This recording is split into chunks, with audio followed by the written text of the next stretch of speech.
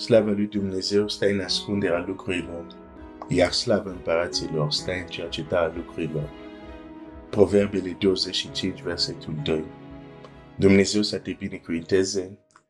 Uh, am ajuns la uh, sfârșit de, de, de săptămână. Um, astăzi postez un pic mai târziu, că uneori te trezești mai târziu Uh, și sper că ce am împărtășit cu tine această săptămână uh, să-ți fie uh, de folos. Având în vedere ce am împărtășit, uh, este important să împărtășesc cu tine un, uh, un fel de, cum se spune asta, în limba română, un fel de atenționare. Un fel de atenționare. Uh, am zis, pentru că am vorbit, vorbim de a trece la alt nivel, am vorbit de modul natural de a trece la alt nivel, uh, găsește pe cineva, merge un drum, cineva care este la un alt nivel, uh, unde, uh, unde ți-ar fi de folos să, să te ridici, uh, găsește persoană și merge un drum cu acea persoană un drum de ucenicie. Acum, atenționare, trebuie atunci să menționez anumite lucruri când am zis uh, găsește o persoană. Cred că unele lucruri le voi spune în pildă azi dimineață, în sensul că, uh, cum să zic, dar unele lucruri prefer să le spun în pilde, în formă de pildă și Uh, cei care pot să uh, înțeleagă bine uh, și cei care nu, probabil, uh, ar fi un șoc pentru ei. Dar uh, nu să fie chiar pildă, pildă. O să fie destul de evident ce vreau să spun. Scuze. De ce numesc atenționare ce vreau să împărtășesc cu tine? Pentru că în naivitatea mea e extraordinar cât, când mă uit în trecut, am zis e extraordinar cât de multe ori am putut să fiu foarte, foarte naiv. În naivitatea mea, am făcut anumite greșeli.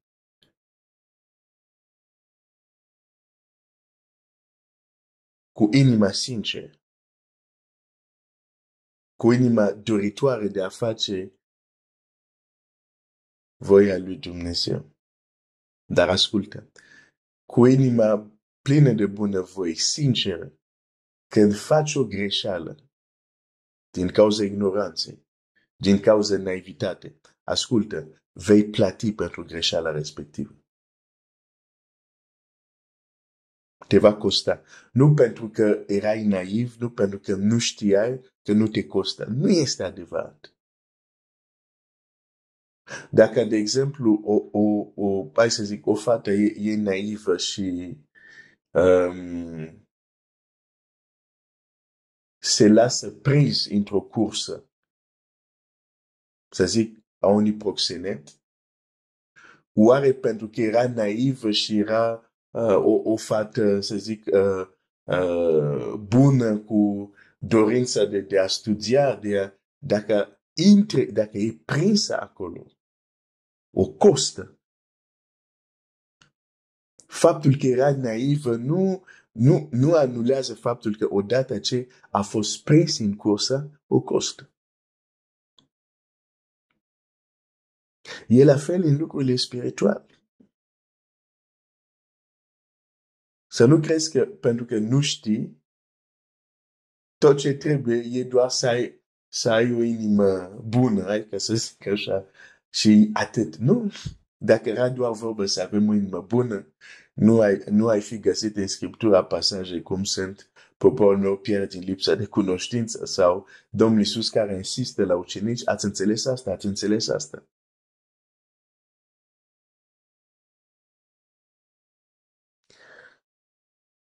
Aș vrea să uh, pardon. Chiar să încep să citesc un text care azi e sâmbătă, deci probabil vei avea un bonus de câteva minute în plus. Este un frate drag care mi-a scris uh, un pasaj uh, săptămâna asta când, uh, când asculta și el și mi-a trimis acest, acest pasaj. Hai să-l găsesc cât de repede. Așa. Evrei 7 cu 7. Evrei 7 cu 7, care spune așa. Fără îndoială, dar fără îndoială.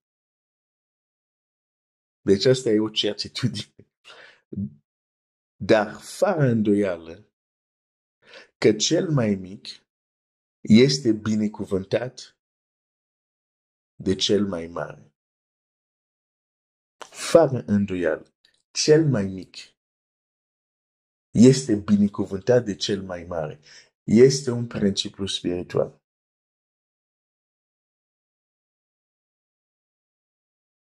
Cel mai mic este binecuvântat de cel mai mare. O să-ți dau un exemplu. Hai să, să iau un exemplu uh, destul de, uh, de simplu, de basic. Hai să zic că un copil este în clasa, nu știu, 5 în clasa 5 da? Uh, învață matematică acolo. Și ei un, un student care e la universitate, anul 4, la matematică.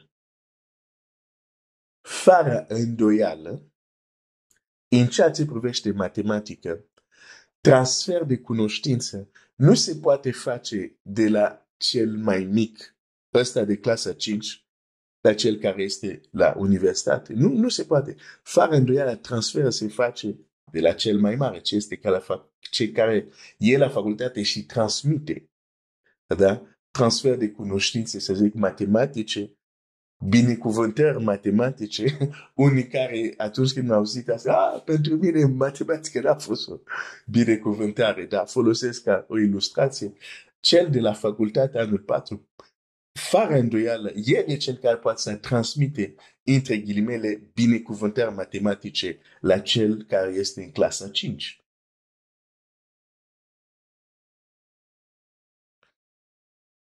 Asta e destul de evident. Însă,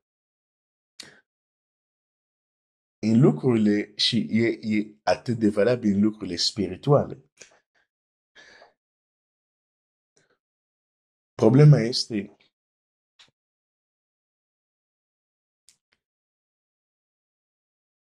când e vorba de a găsi cineva care este la alt nivel, cum știi că este la alt nivel? Cum știi că este la un nivel superior?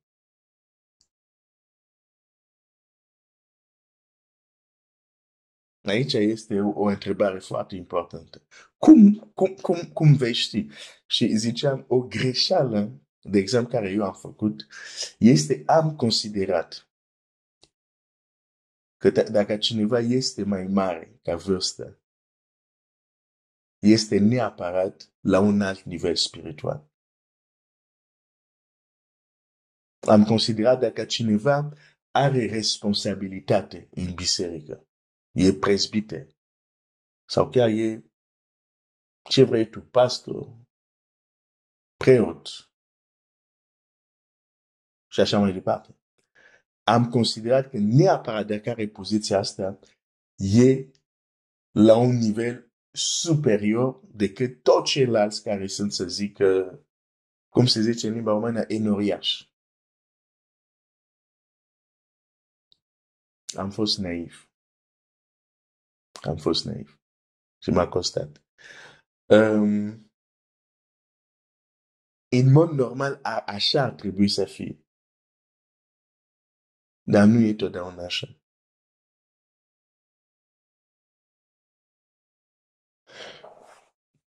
Hai să citesc uh, un verset. Un alt verset. Și apoi să vedem uh, cum atunci facem. Pentru că uh, dacă citești, de exemplu, um, hai să citesc un verset. Proverbele 25, versetul 14. Ca norii și vântul fără ploaie, Așa este un om care se laudă pe nedrept cu darnicile lui. Hm. Ca nou și vântul fără ploaie. Așa este un om care se laudă pe nedrept cu darnicile lui. Deci, ilustrația aceasta, nou și vântul fără ploaie, se referă la oameni. Există o păcăleală când ești naivă și anume, tu ai văzut nor, ai văzut vânt și zici, înseamnă că este și ploaie. Dar există vânt și nor, dar care nu au ploaie. Ploaie înseamnă binecuvântare. Fără îndoială, cel mai mic e binecuvântat de cel mai mare. Dar Biblia îți spune, există nor care nu au ploaie. Hai să zic asta în alt cuvinte.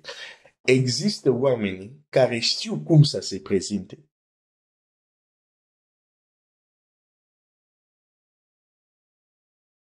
Dar care conținutul nu este ceea ce este prezentat.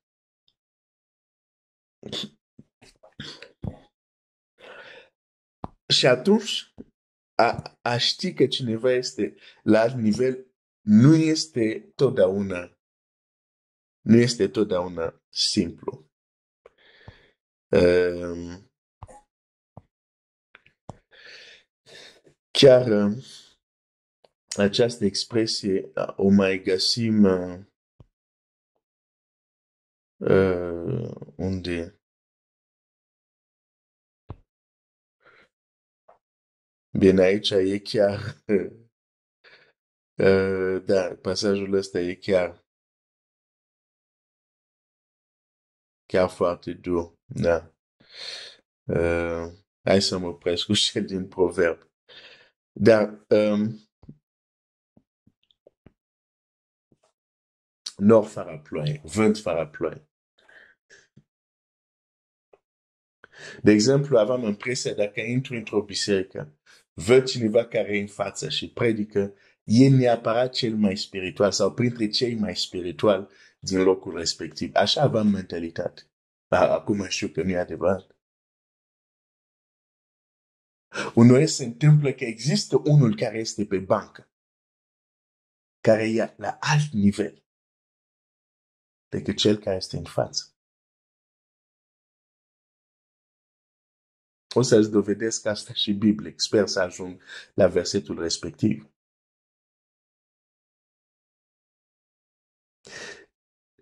Deci, hai să spun un lucru care mi s-a întâmplat. Când am avut naivitate să cred, ăsta pentru că are poziția asta, ăsta pentru că e la nivelul ăsta, mi-am dat toată încrederea. Mi-am dat toată supunerea.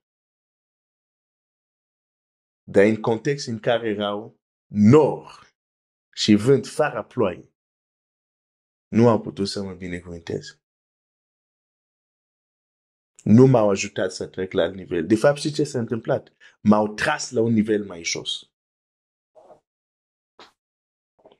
Îți vorbesc de lucruri foarte serioase. Te vei lupta, te vei disciplina. Luni, ani de zile, vei trece la un nivel și apoi ajungi să faci greșeală, să te încrezi și să te supui la cine nu trebuie ești tras mai jos. Și aici când vorbești de supune, nu vorbești de supunere aia generală supuneți-vă unii altora, supuneți-vă uh, autorității. Mă refer la această supunere din relația aceasta stăpân sau învățător ucenic. Da. Despre care am mai vorbit. Faci greșeală să intri într-o astfel de relație cu o persoană care în aparență e mai mult decât este în realitate. Pericolul este tu ai vrut de fapt să mergi un nivel mai sus. Pericolul este să poți să fii tras mai jos.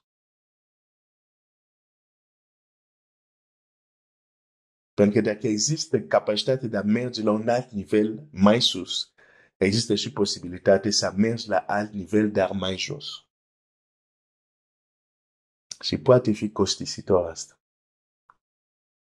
Ascultă, îți poate costa ani de zile până îți revii de la o astfel de, de experiență.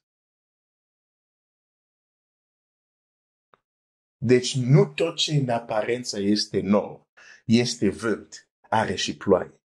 Și ceea ce, ce trebuie să urmărezi este că vântul sau că ploaie, adică ce vezi tu în exterior, să știi că există și ploaie pentru tine acolo. Există ceva enorm respectiv care te poate binecuvânta să mergi mai... Pentru că fără îndoială, cel mai mic e binecuvântat de cel mai mare. Fără îndoială, un nor, un vânt care nu are ploaie, nu te poate binecuvânta. Nu te poate ajuta să mergi la un nivel mai sus. Trebuie cineva să fie un nivel mai sus cu adevărat să te ajute să mergi la un nivel mai sus. Cineva care nu, nu e la un nivel mai sus, n-are cum să-ți spună, urcă-te aici. Trebuie să fii mai întâi el acolo. Dar în lumea noastră a aparențelor, lumea marketingului, mult sunt înșelați, cum am fost și eu înșelat.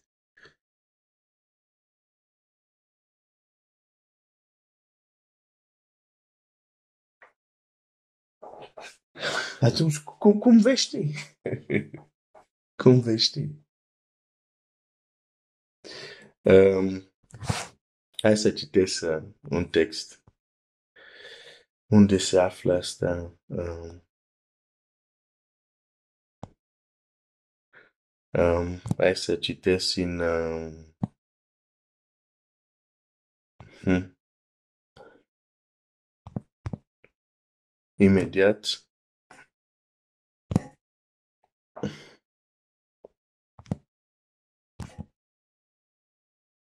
Așa.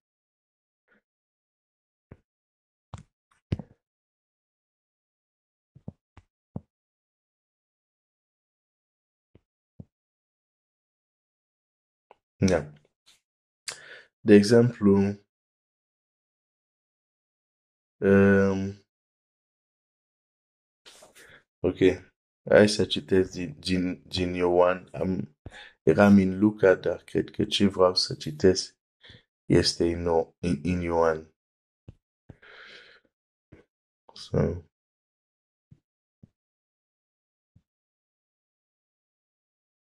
Așa. Ioan 1, 26.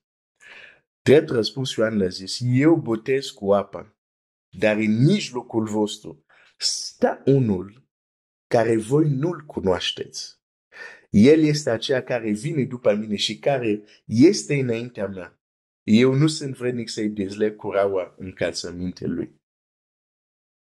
Ioan avea maturitate spirituală să știe. Deși m-am născut înaintea lui, să zic fizic, uh, deși am început lucrare înaintea lui, dar s-ar putea acum predic și printre oamenii aceștia Printre cei care ascultă la predica mea acum, e unul mai mare ca mine. Ți-am zis, cineva poate să fie la un vânt, dar pe banca sta unul care este mai mare ca el din punct de vedere spiritual.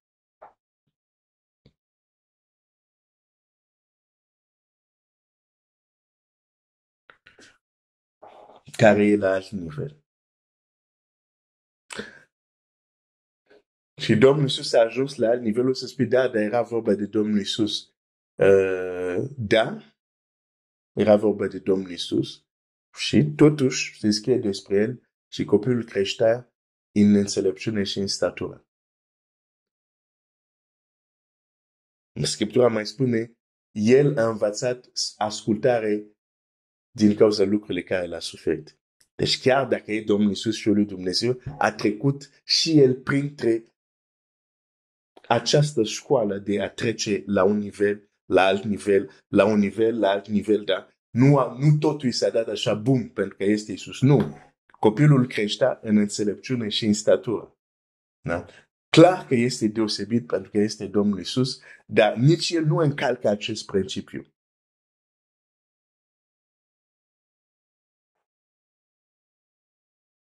Și Ioan știe.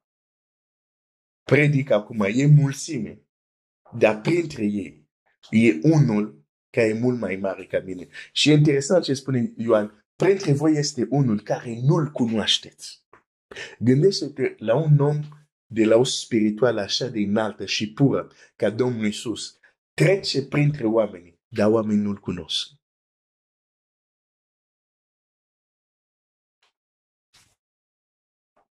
De aceea poți să treci lângă un om care este la un nivel, dar nu-l cunoști, nu știi. Pentru că dacă acel om, până Domnul Iisus, nu a început să facă anumite lucruri, oamenii nu puteau să-l cunoască. Iar până Dumnezeu nu a deschis ochii lui Ioan, nici el nu putea să-l știa doar că există unul, dar nu, nu, putea, nu putea să-l cunoască. Uh, zice, um, apoi Biblia spune așa, a doua zi, verset 29, Ioan a văzut pe Iisus venind la el și a zis, iată mielul lui Dumnezeu care ridică păcatul lumii. El este acela despre care ziceam, după mine vine un om care este înaintea mea, căci era înainte de mine. Eu nu-l cunoșteam, dar tocmai pentru că aceasta a venit să botez cu apa, că el să fie făcut cunoscut lui Israel. Ioan a făcut următoarea mărturisire. Am văzut Duhul coborându-se din cer ca un porumbel și oprindu-se peste el. Eu nu-l cunoșteam, dar cel ce m-a trimis să botez cu apa mi-a zis, acela peste care vei vedea Duhul coborându-se și oprindu-se este cel ce botează cu Duhul Sfânt. Deci până Domnul Iisus nu a început să facă anumite lucruri. Asta este un mod de a vedea că cineva e la un alt nivel. Când cineva poate face ceva care e ieșit din comun, să știi clar că e la alt nivel. Că cineva face ceea ce vezi foarte rar. Să știi clar, este undeva ca să fii în stare să facă asta.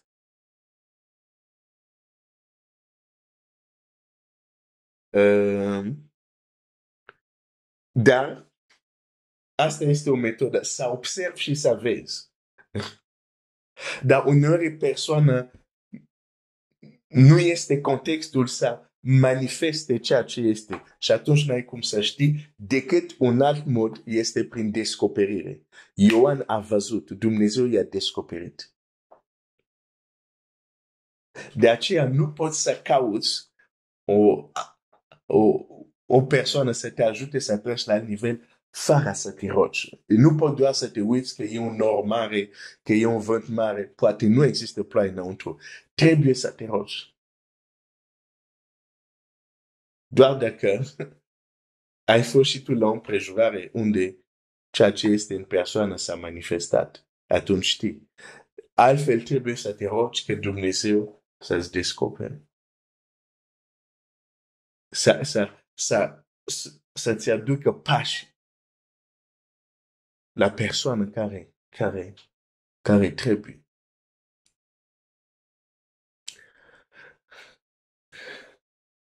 E nevoie de rugăciune.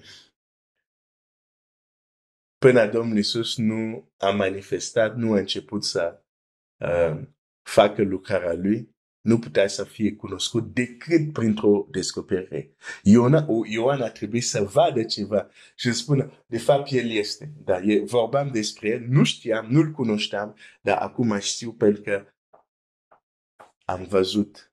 E un semn care am văzut și știu că el este.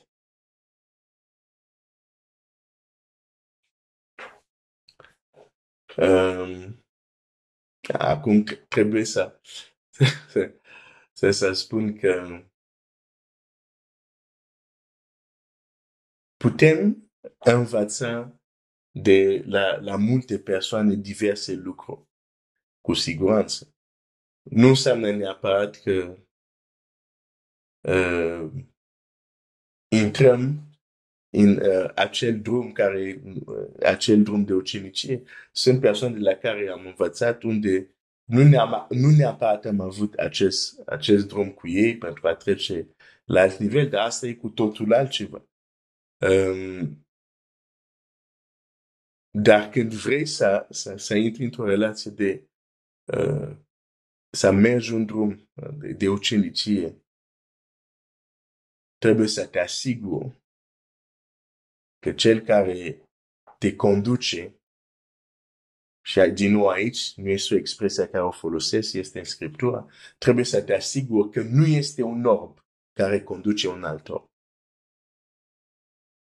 De aceea trebuie rugăciune.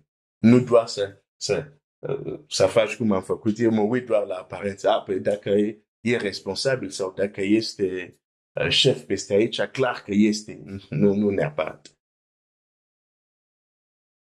sau dacă are, uh, cum să zic, uh, un doctorat. Înseamnă, nu, nu, nu neapărat. Și farisei aveau doctorat. Ca să zic așa. Um, dar asta nu este pentru a te descuraja. Uh, cum ți-am zis, cu siguranță, uh, lângă tine, uh, uh, nu departe de tine, există persoane care cu siguranță te pot ajuta. Dar am vrut să, să, să menționez totuși acest adevăr care personal l-am ignorat, am fost naiv și am avut de, de plătit. Um, foarte mult chiar. Uh, pentru că, știi, în, în, în alergarea noastră, ai, ca să înțelegi când zic foarte mult, hai să-ți explic un lucru. În alergarea noastră a credinței, nu suntem doar noi implicați. De exemplu, dacă după, hai să zic, dacă după 5 ani, după 6 ani, cu tot ce Dumnezeu a pus uh, lângă mine și împrejurările, tot ce a lucrat Dumnezeu, trebuia să fiu să zic că ia, ia un exemplu, dar trebuia să fiu, hai să zic, la nivelul șapte. Da? Și din cauza naivitate, eu am coborât din nou la nivelul 3. Deja mă costă pe mine pentru că va trebui să treacă încă ani înainte să întorc la nivel 7. Dar costă și mai mult în sensul că anii care eu, dacă aș fi fost la nivel 7, perioada respectivă aș fi făcut lucrurile, aș fi binecuvântat oamenii, aș fi ajutat oamenii, care acum la nivelul 3 nu pot să-i ajut. Și unii se pierd.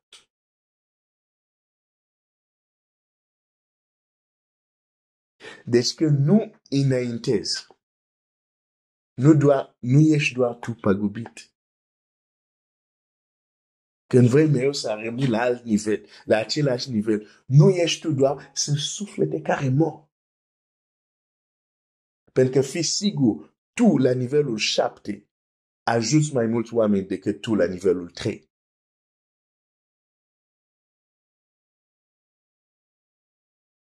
Deci costă și pe tine, dar și alții, că nu vrem să creștem. Okay.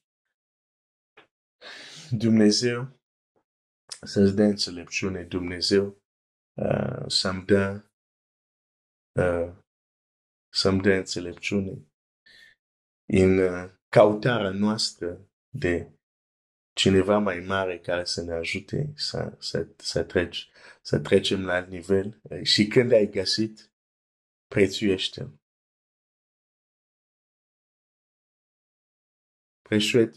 Prețuiește-l ca un, uh, o binecuvântare sau un dar din partea lui, lui, lui, lui Dumnezeu. Ok, să mă opresc aici. Um, Dumnezeu să te binecuvinteze.